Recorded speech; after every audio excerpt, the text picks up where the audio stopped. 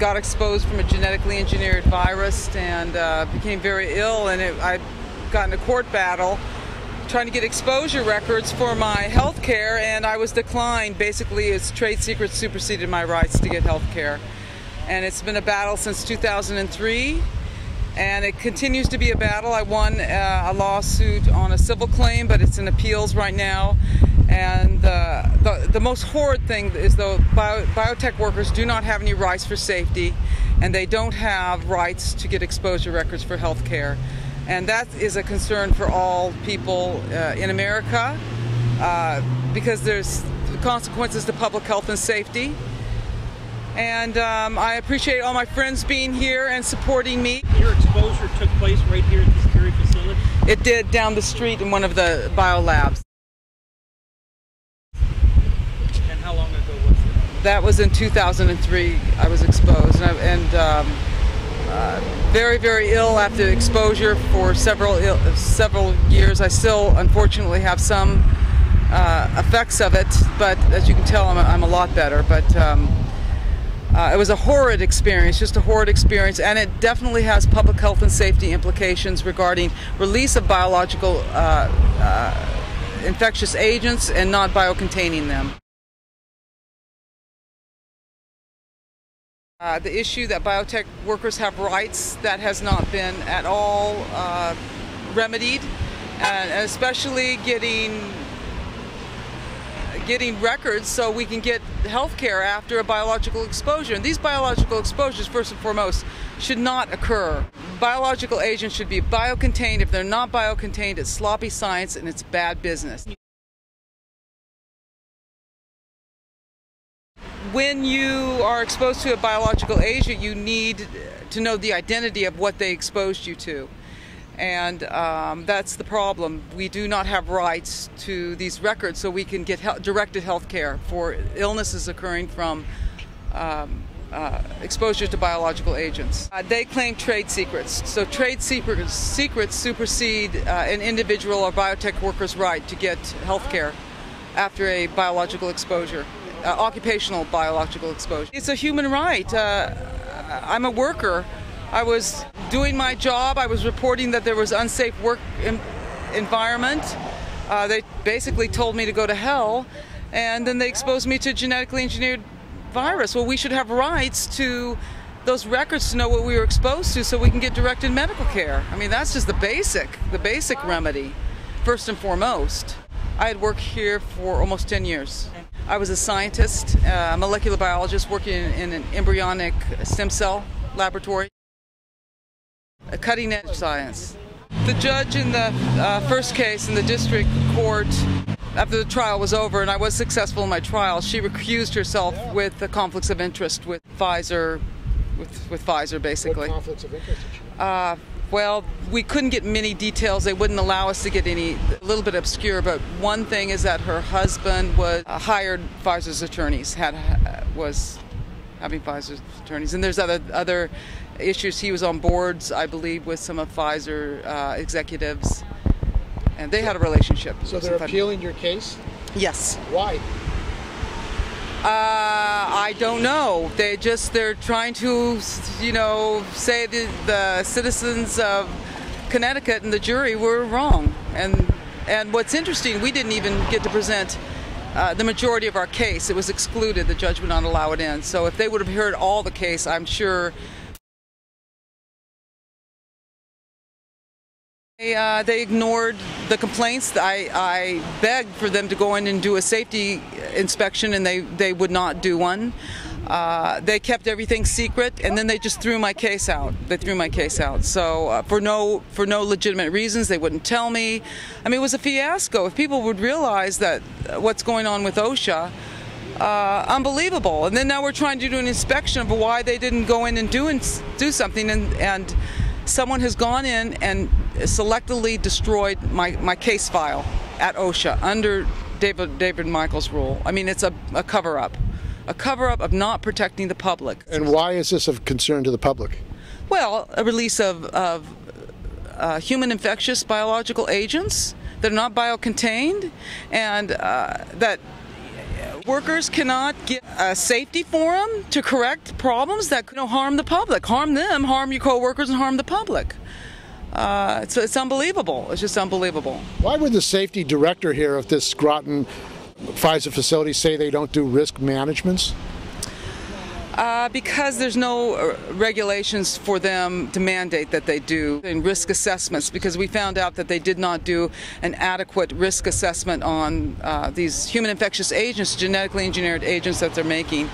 And um, they don't have any regulations to mandate that they do.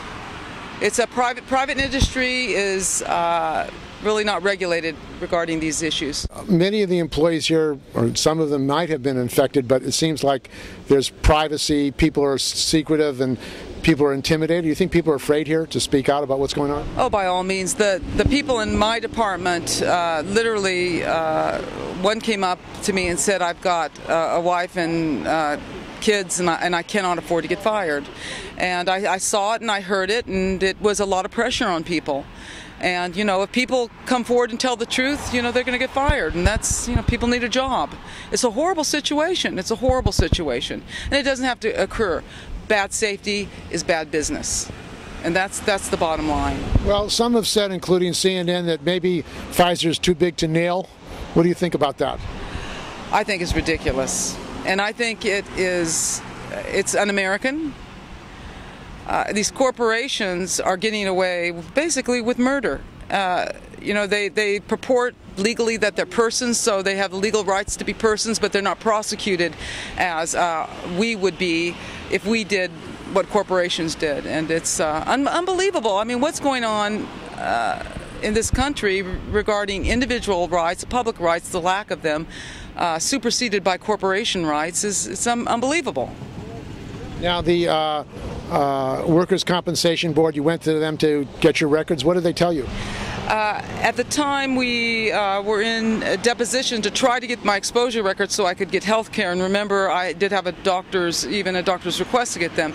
Workers' Comp said that they did not have jurisdiction to get those records. And so, again, I. Uh, uh through all this, I never got directed health care. I never got a penny paid uh, for uh, the my illness that that occurred very a lot of emergency room visits, hospitalizations, and not a penny uh, the, did the did the corporation have to pay, Pfizer have to pay, nor was there any legal remedy for me to to get that remedy. There's no legal avenue to get the, that remedy. Uh, in regards to my health. Now, I did win a case on discrimination. Pfizer willfully and wa- uh, wantedly uh, discriminated and retaliated against me for raising safety issues. I did win that, but that did not include uh, anything to do with my illness. So, so, you're saying you have a genetically engineered disease or a genetic disease that you received here at Pfizer? Yes. This this facility here, this laboratory, and yet Pfizer is not responsible for you getting that disease? That's what they. That's they're saying Yes, that's basically what happened. I was exposed to a genetically engineered virus, and they had told me initially when I was exposed that it wasn't a human infectious agent. So I was getting sick, and I, and I didn't I didn't really connect the dots until I uh, on a doctor's report. Uh, they wrote that I had a post-viral sy- syndrome. So I went back and I said, "Hey, Pfizer, you know, tell me exactly what this virus was you exposed me to." And uh, I did get a little bit of information, and I found out it was a human infectious agent, an infectious agent that caused the, the type of um, symptoms that I was uh, exhibiting. So I had a clear etiological link. Uh, and uh, you know documentations that I was exposed, but no legal remedy. And then most injured workers don't. If you get ill on the job from exposure, chemical exposure, biological exposure, a sick building exposure, you will not get workers' comp, and you you could lose your home. You could lose your home. You could lose your job. You get so sick. It's a very serious issue, and something needs to be done.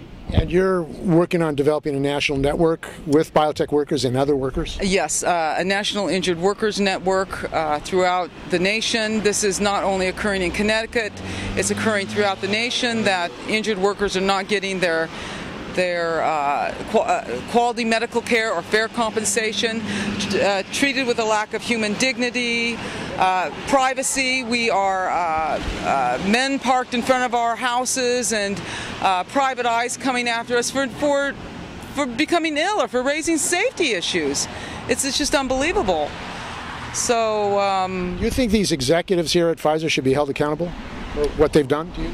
Yes, I think someone should be held accountable for sure. And and and I went all the way up to the to the top executive, and they're they're. what did that executive say to you? Well, their principle that they told me was that Pfizer operates on what's legal and not necessarily on what is safe. And seeing that this uh, this uh, biotechnology and private industries has no regulation, they can do what they want.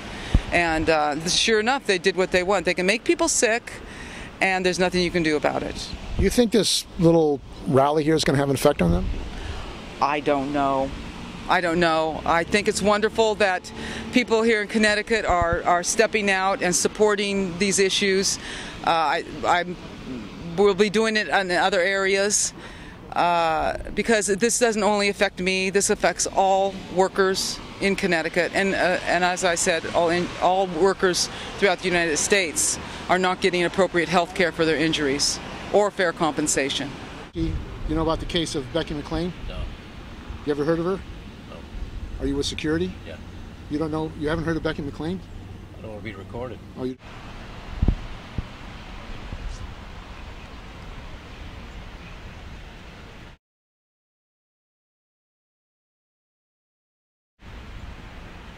My name is Bill Clark.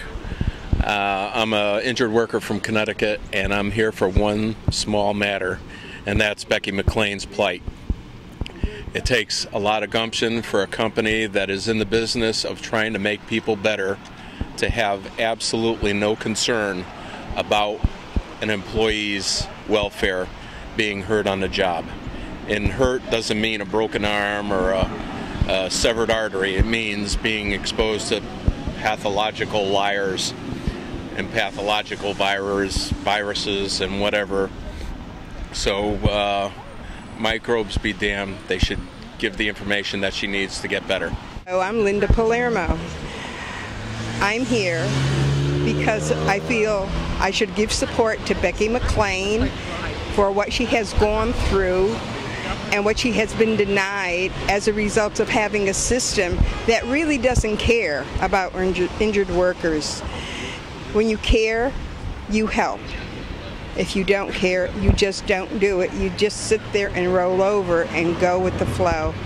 I just wish we had a better workers' compensation system in the state of Connecticut and that all of their ills would be cleaned up with this present administration. And I also wish Becky the very best of luck with whatever her plight is to help her get her goal of satisfaction.